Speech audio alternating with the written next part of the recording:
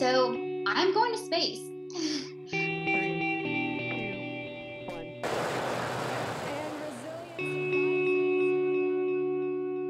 my mom noticed a big knot above my left knee and she took me to the doctor who did an x-ray and I'll never forget she she came in the room with me and my parents and just said this is bone cancer.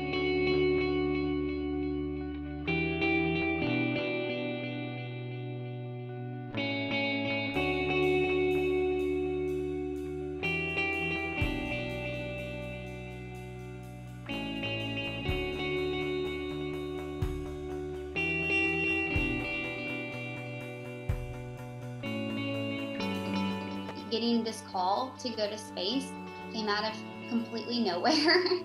and um, but I think it just that's the beauty of life is sometimes it surprises you.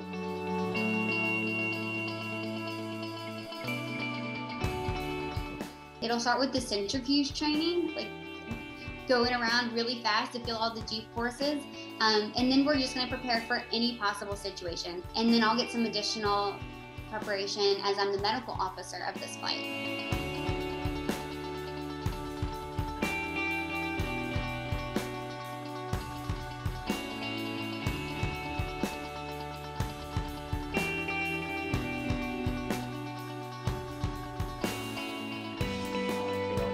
I really hope to inspire these kids um, by going on this mission that to dream big, that they can do anything. You know, this mission is is opening space travel up to anyone, and I think that in itself is going to motivate people and give them so much hope.